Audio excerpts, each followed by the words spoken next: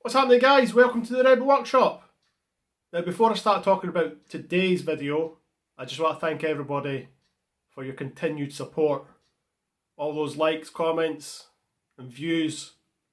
I really do appreciate every single one of them. I know that sounds a bit ominous, but don't worry, I'm not going anywhere. But there might not be any build videos for me in the next month or so. That's because we're going on holiday. Finally, after two years, we're getting to go away. But next week, we're heading to LA for about 11, 12 days. And while we're in LA, I can't believe I'm actually saying this. I've been wanting to do this for so long. But we're going to Celebration! Yeah, we're going to Star Wars Celebration. I really can't wait. I'm hoping to bump into a few other people while I'm there. And if you do recognise me, come up and see what's happening. You might not be able to understand me, but I will try and tone down my accent just a wee bit. But yeah, if you come up and say hello, who knows what will happen. I might even give you something. As I said, I'm hoping to bump into some of the fellow Star Wars room builders. Hopefully that does happen, because I know a lot of the guys are going. But anyway, back to this build. So what am I doing this time? I'm doing a wee bit of a deep dive. This is something that is not very obvious and it's not been seen that much. What am I talking about? The Mos Eisley Cantina sign. Let's do this!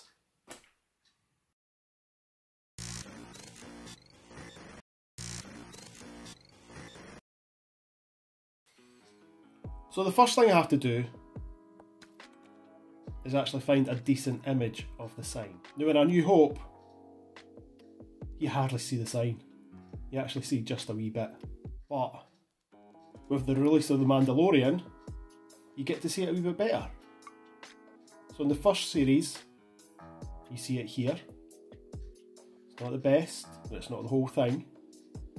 But in the second series, I think it's the second or third episode of the second series, he has to take the frog lady, transport the frog, frog lady with her eggs. But he goes into the cantina at night and it's lit up and you can see it pretty well. Again, it's still not the greatest because you can't see the colours properly. But thankfully, in one of the behind the scenes books for The Mandalorian, there's a pretty good image of it in there. So that's what I've used.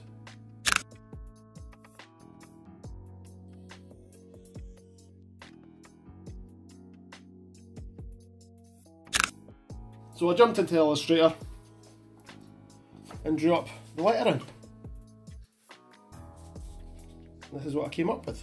So for the size of the actual sign itself, I'm going to do like a border around it that looks like the Tatooine walls.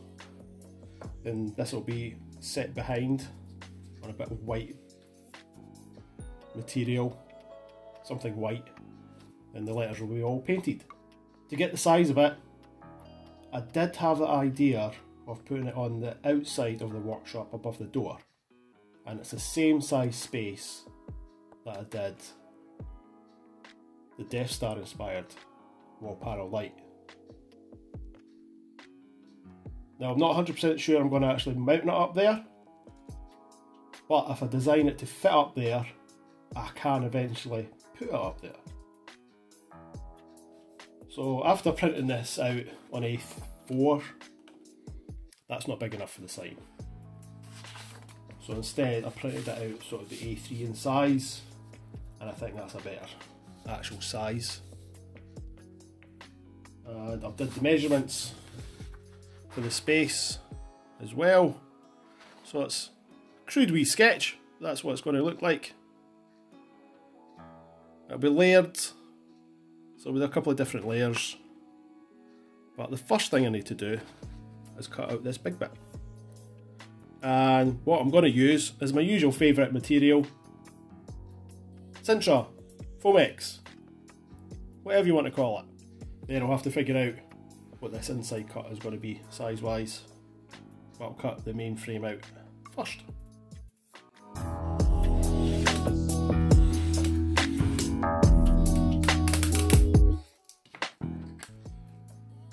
Just so it's quite sturdy, I've decided I'm going to use the 5mm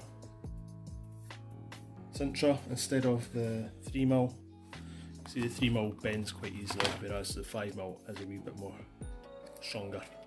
That's this cut out. It's massive. I might not be able to film this whole thing size wise, but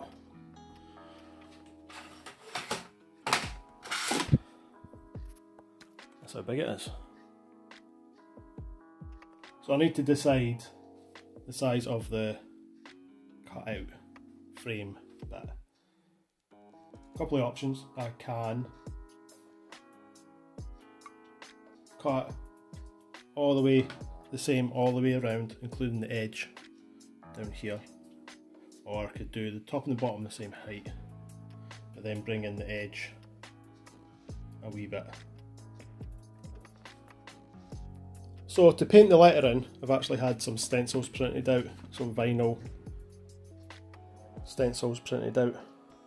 And I've kind of just measured up so this is bang on in the middle. Then I could try and figure out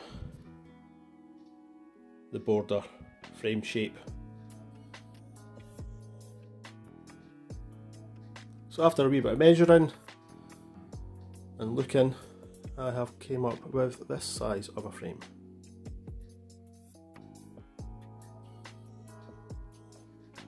So I've done about 30 mils down the bottom.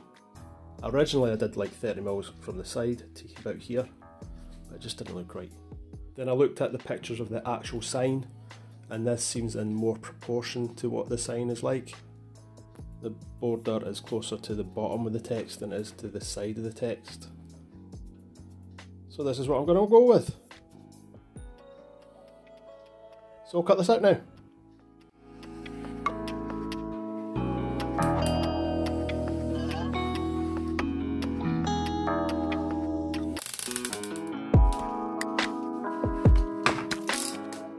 And that's it cut out.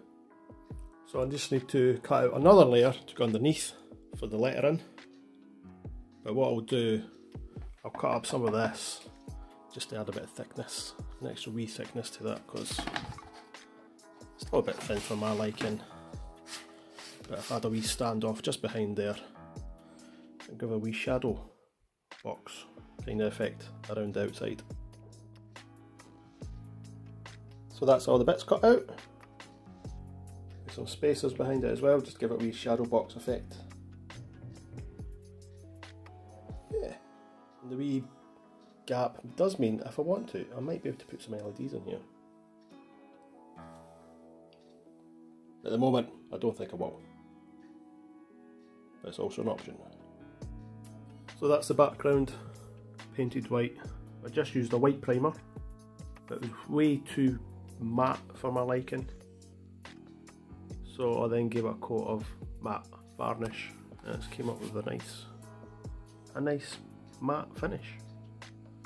So I'm now going to stick this guy on, mask up the rest of it, then paint it blue.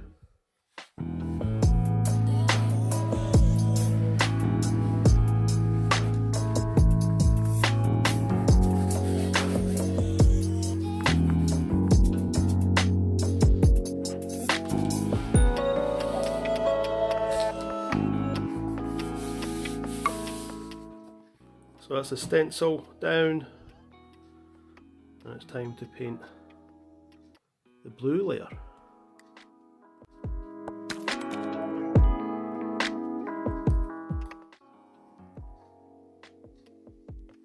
So there is a slight overspray as you can see. The stencil just wasn't sticking down well enough unfortunately, but I'm fine with that. I'll just leave this to dry then it'll be time for the red stencil to go on. And that's the stencil on for the red parts.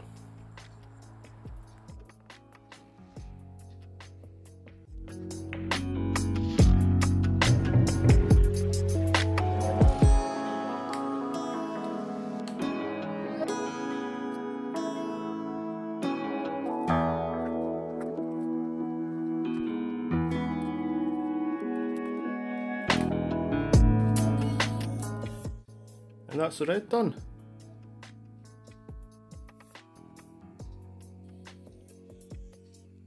Again, there's a couple of wee oversprays, nothing too bad.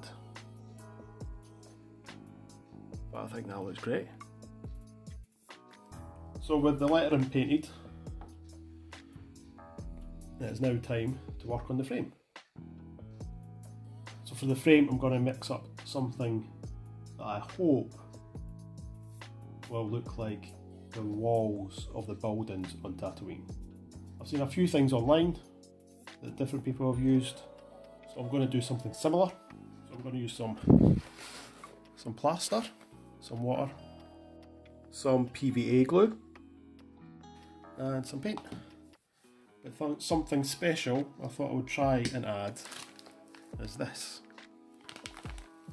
Now this just looks like a bag of sand, which uh, it kinda is. But this is genuine Tatooine sand. Let me explain. So in 2010, I went on holiday to Tunisia with my parents and we visited the Star Wars Mos Espa set. And while we were there, we collected load of sand. So this is genuine Tatooine sand. There's even bits of the actual buildings in there because they're all just falling apart so there is genuine set pieces in here. So I'm going to add some of this to the mix and see how it works. Now I have not done this before. I don't know how well this will work. I'm going to give it a try. So I'm going to start off with some plaster powder. Make a mess.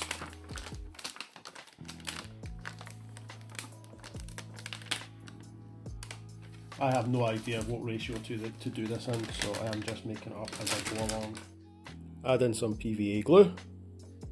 Again, I have no idea that's the right ratio or not, but we will see. We're going to add in some of this Naples yellow. It's close enough to this sand colour. Some water. And some of the sand.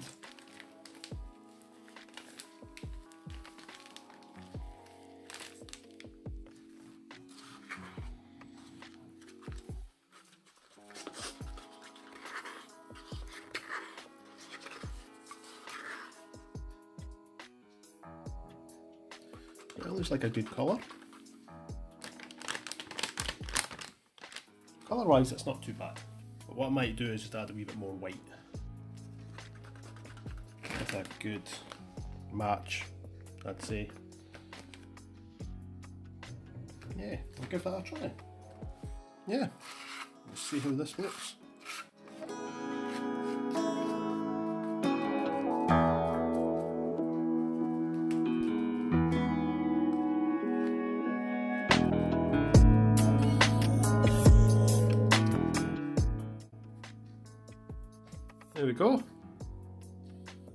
They leave this to dry and see how it looks once it is dry. Well that seems to have worked. That looks pretty good. There is a wee bits of the white coming through. But what I'm going to do is mix up a darker colour colours this. Wash. Give a quick one over with that. That should give it a bit of different tonal variations as well. So again, since I've not done this before, I'm really not sure what I'm doing. So I'm just making this up as I go along, hoping it's going to work out. So I've made up a wash of yellow ochre and some raw sienna.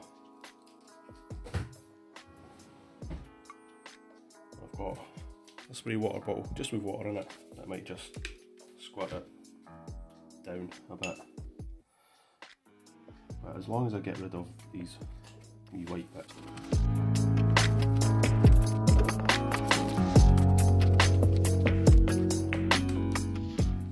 I think I'm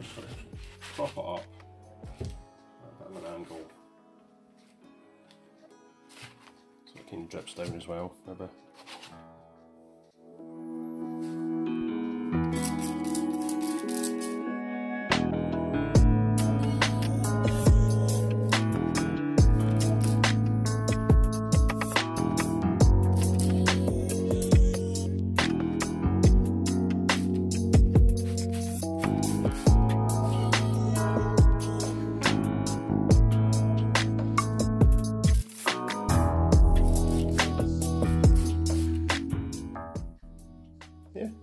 looking good so far.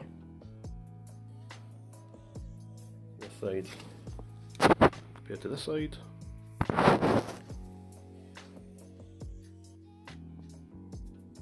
Yeah.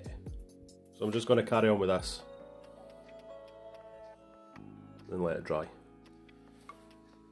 So for the lettering panel I'm going to do something similar but again I've made up a wash of this almost sandy colour.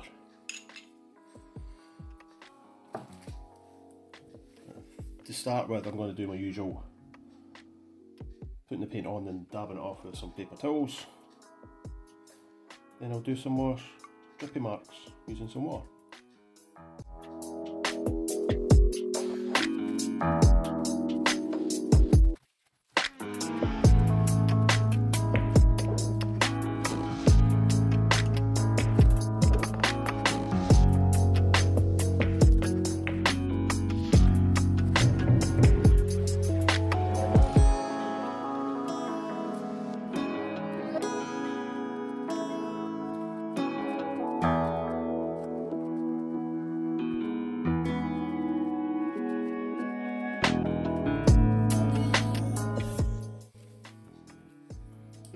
Time to do a couple of drips. I'm not doing too many, I'm just doing a couple of wee bits.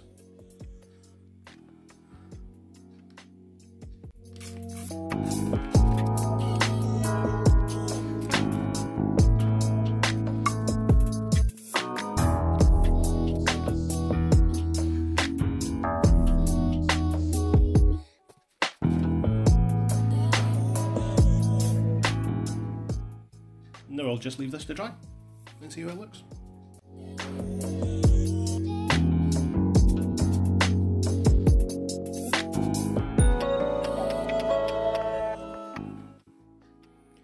So uh, some of the plaster mixture came off up the top where I was handling it. I think it had just been too wet with doing the with the weathering.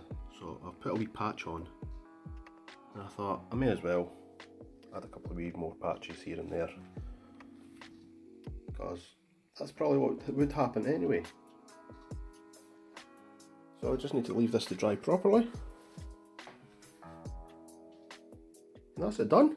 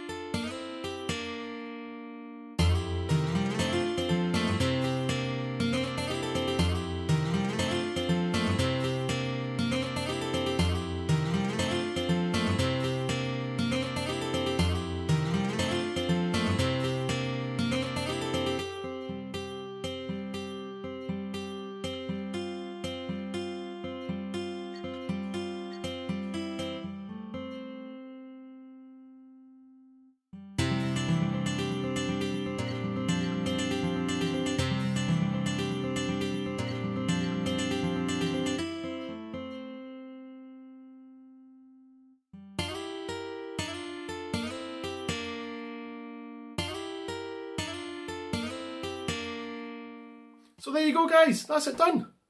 I think it looks amazing.